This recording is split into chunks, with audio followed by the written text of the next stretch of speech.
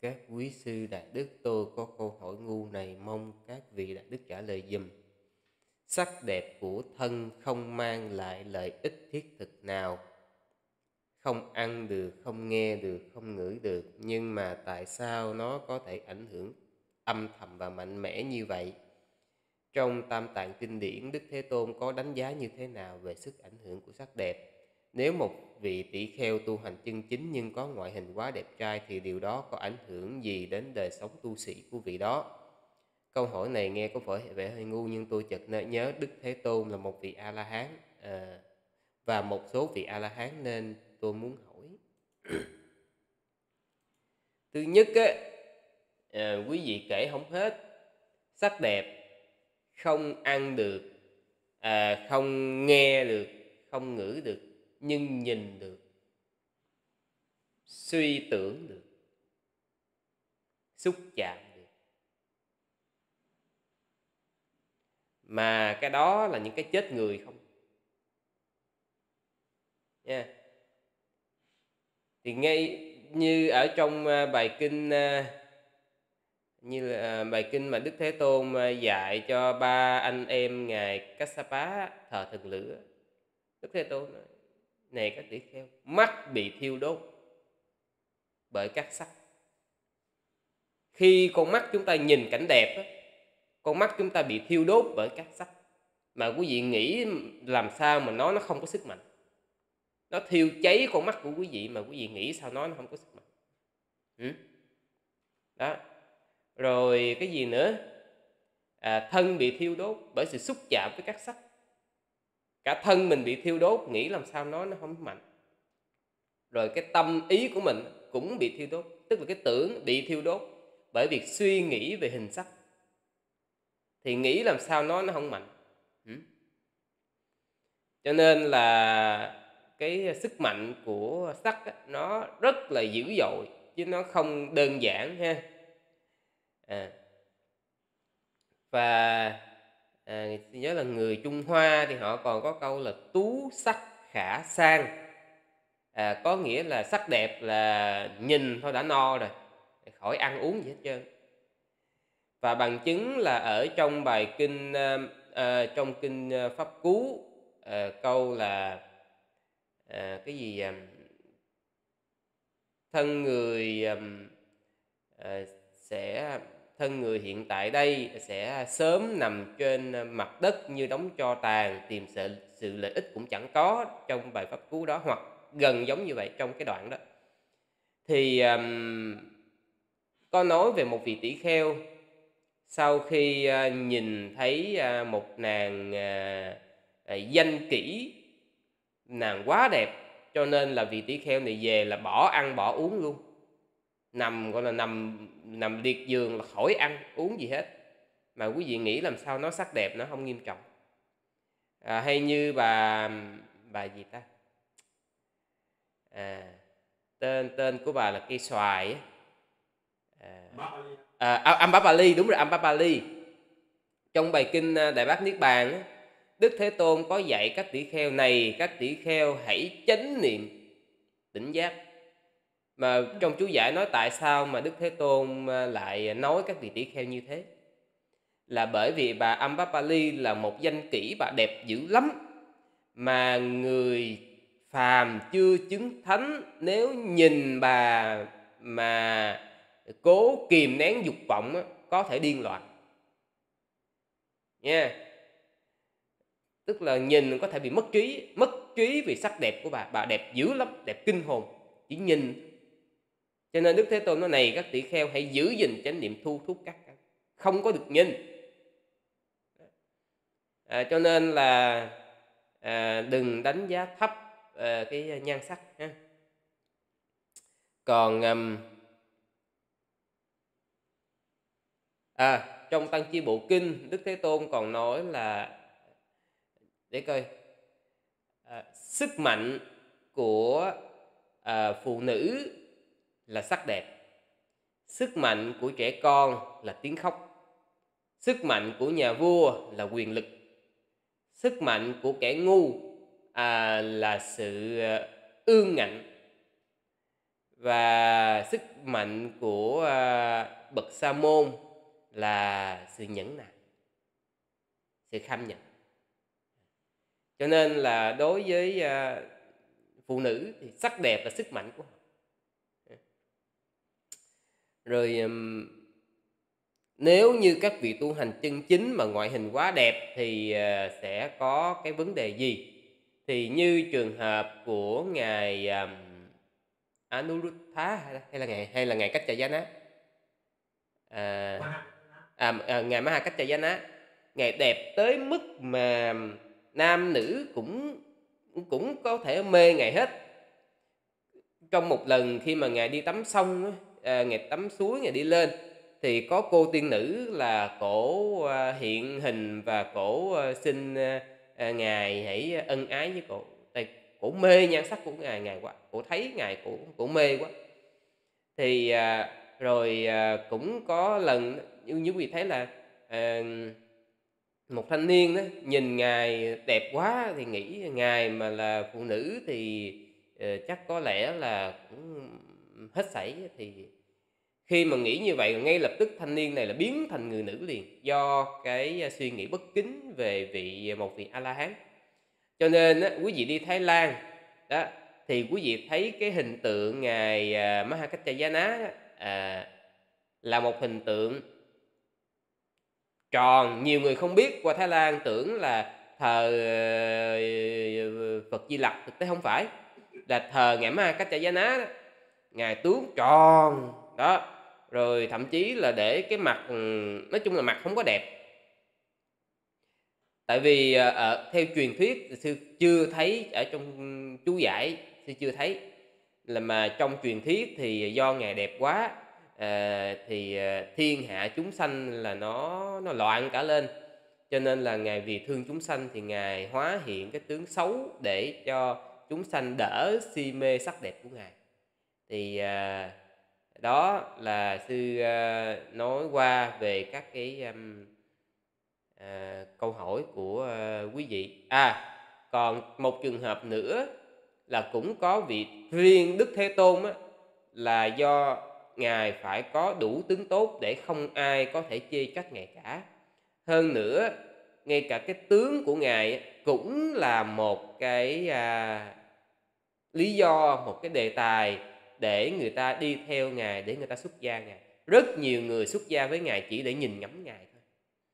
Và ngài cũng nhân cơ hội đó để ngài thuyết pháp và độ cho các vị ấy chứng đắc đạo quả. À, nhưng mà đó là một vị chánh đẳng giác ha.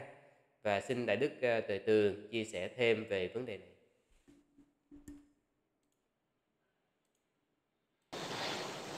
À, kính thưa đại đức kính thưa quý vị.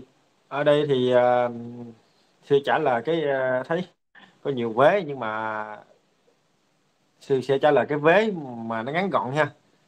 Thì ở đây nói là nếu việc vị tỷ theo tu hành chân chính nhưng có ngoại hình ờ, gọi là ngoại hình ờ, gọi là ta gọi là hảo tướng đó. À, tại vì uh, thuật ngữ ở trong uh, ở trong đạo thì uh, thường thường ít có ai kêu ví dụ mà kêu thì mình khéo khéo đừng, đừng có kêu ông sư đẹp trai hay là bà hay là bà sư cô đẹp gái hay nọ cái gì mình kêu hảo tướng được. Không hay hơn không? Thì điều đó ờ, ảnh hưởng gì đến đời sống tu sĩ không thưa quý vị? À, ảnh hưởng hay không là tùy theo cái thái độ thưa quý vị. Cái thái độ tu tập gì đó cái gì đó. Tại đây quý vị nói đề cập là đến người tu hành chân chính. Nếu mà thật sự thật sự thưa nó nghiêm túc nè. Nếu mà đúng là thật sự tu hành tu hành mà chân chính thì dạ, đúng như tinh thần của bài kinh để bán niết bàn. Mà ngài nên đa hỏi đức tôn đức tôn có nói là phải luôn sống với cái tinh thần gọi là tứ niệm xứ tinh thần chính niệm tỉnh giác. Đó, cho nên cho dù à, vấn đề gì đó đẹp, phải không? Cho đẹp cỡ nào đi nữa. Và có nhiều cái ngành nam hay là thậm chí lẫn nữ như vậy không? có có cái sức hút á. Ví dụ phật tử thấy ổn sư này sao? Đẹp trai quá, này nọ cái kiểu này không? Thì tới thường xuyên lui tới thì vì nghe là bị bị ờ, bị say mê chứ vì cái sắc đẹp đúng không? Đó. Thì cái vị đó đó luôn sống với tinh thần mà chính niệm tỉnh giác đúng không? Cũng không cũng luôn an an trú đó chứ không có bị vì cái đó mà mình lợi dụng cái đó mà mình ờ, uh, đại loại như tôi nói uh, nói đúng hơn mình nghĩa là mình lợi dụng cái đó ví dụng uh, nhan sắc của mình tôi nói gì đó đúng không? Để mình trục lợi không? Chụp lại hay là mình để cho người ta lễ người ta uh, cung kính mình cúng dường mình đúng không? Rồi tôn mình làm thế này thế kia. Nói chung quan trọng nhất vẫn là cái thái độ thôi việc thái độ. Đó. Uh, tại vì á, ở đây là ờ, nếu mà sư ví dụ các vị thánh tăng thì các vị nói trời ơi sư ơi thì đó, thánh tăng là phải gì à không? cho nên là nó khó ví dụ. Các vị không? Quan trọng vấn đề chúng đây là phàm phu. Cho nên là Ừ, nó có ảnh hưởng hay không sư chỉ tóm gọn thôi quan trọng nhất là cái thái độ tu tập quý vị đó. Nó như thế nào? Cái sự chánh niệm tỉnh giác đó, của quý vị đó nó nó được củng cố được thiết lập thiết thiết lập thiết lập nha tốt như thế nào thôi nha. Để mình không có vì ừ, có cái dung sắc mà nó tốt như vậy đó mà để có cái nhiều người đặc biệt là người cận sư nam sư nữ đó, ừ, giống như là tôn vinh mình không? Tôn vinh mình rồi lễ bái mình rồi đem lợi lộc đến cho mình nhiều thì mình cũng không bị vì thế mà mình uh, không có còn chân chánh nữa. Đó nghĩa là mình đôi khi mình tránh mà mình không có rồi đúng hơn là nó thẳng mình không có rơi vào tà đạo nó thẳng gì dễ hiểu không? còn quý vị nói là quý vị nói là cái sắc đẹp á sắc đẹp có cái ảnh hưởng gì mạnh mẽ không?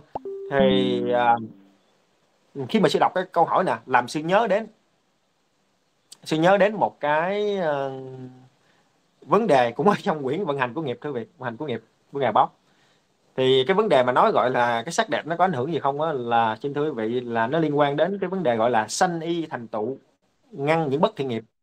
Thì ở trong đây ngài báo này có nói gì nè là để mình biết được á, là cái việc mà sinh ra làm đẹp xấu á, nó cũng là cái phước của mình nha cũng là cái phước của mình cũng là cái phước mình, chứ nó, chứ không, mình đừng có nên xem thường mà cái đẹp, cái xấu, đúng không?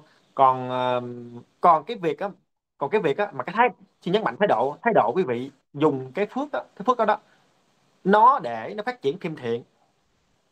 Hay là nó phát triển ừ, thêm bất thiện á, thì đó là một cái khía cạnh khác nữa, đúng không? Cho nên là sư chỉ phân tích về cái cái phước thôi, phước đây thôi. Thì ngài nói như vậy, có một số nghiệp xấu sau khi đã làm không chín mùi do bị Sunny thành tựu chặn lại. Một người có thể sinh ra với sự khiếm khuyết về tứ chi có một diện mạo xấu xí không xinh đẹp đó là Sunny thất bại.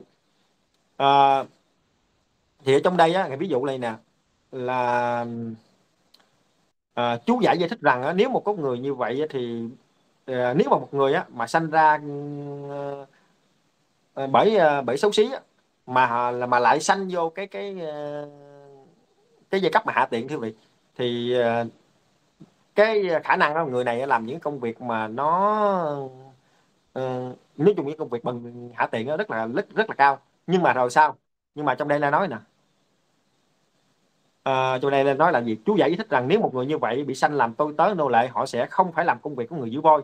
Có nghĩa là nếu một người á một người mà có cái dung sắc nó tốt á thì cho dù là sanh vào sanh làm giai cấp hạ tiện á á thì uh, không phải làm công việc người giữ voi giữ ngựa hay một người giữ bò. Do sự xinh đẹp của anh ta người chủ sẽ nghĩ không nên để một người như vậy làm công việc dơ bẩn bẩn.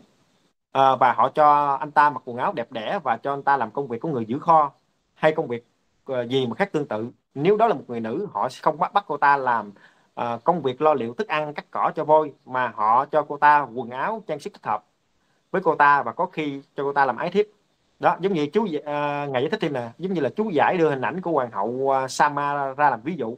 Tức là thời đó vua Pha Tý Giá có lần người ta bắt được một số người phạm tội ăn thịt bò và họ bị đưa lên cho vua xét xử. Do không có tiền nộp phạt họ bị bắt làm công việc của những người lao nhà trong hoàng cung. Tuy nhiên một trong số những người con gái của họ nhờ xinh đẹp có nghĩa là trong cái nhóm bị bắt đó thì có một đứa con gái là xinh đẹp nên được vua vua đưa vào hậu cung và không cho làm ái thiếp do ảnh hưởng của thiên nghiệp này. Cô ta và gia đình cuộc sống gia đình được sống một cuộc sống an vui. Đó ở đây là chỉ nói về cái quả này nha cái quả đó. Cho nên là chúng ta cũng không phủ nhận được cái sức ảnh hưởng của cái quả thiện là có được cái dung sắc đẹp. Đúng không? Còn cái việc mà sau đó nha sau đó là cái người đó đó cái thái độ của người đó hiểu biết về cái mình có cái dung sắc đẹp này, để họ làm một họ gieo một cái nhân mới đó là một cái nhân bất thiện giống như là mình có sắc đẹp nên mình quyến rũ người ta mình ờ, không?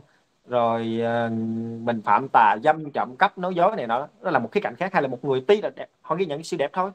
Giống như là trong kinh tạng những vị ờ, tỳ kheo tỳ kheo ni không? Thậm chí cận sĩ nam sư nữ họ không quan trọng cái cái đẹp đó nhưng mà họ thiết tha đến ừ, ghê sợ và chán sợ sinh tử luân hồi. Họ tu tập uh, uh, theo bát chánh đạo với định tuệ đó. thì đó là một cái điều cao thượng cho nên ở đây là uh, quan trọng nhất là cái uh, gọi là sẽ gọi cái phước à cái phước á cái phước là một chuyện nhưng mà còn cái thái độ cái thái độ nó là một cái khía cạnh mà nó vượt nó vượt ở trên cái cái cái cái, cái, gọi là cái phước khổ lậu mình.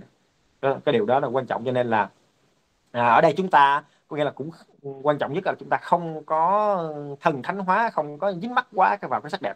Mà chúng ta cũng không nên có thái độ mà giống như là ờ, ờ, gọi là giống như là là phủ nhận đó, phủ nhận nó đi phủ nhận đó. ờ ừ, đẹp có gì đâu cũng già già bệnh chết nhăn nheo rồi nọ đúng không? Mặc dù chân lý là như vậy nhưng mà nó vẫn là một phần quan trọng thưa quý vị. Dạ cũng xin kết thúc uh, câu trả lời đây.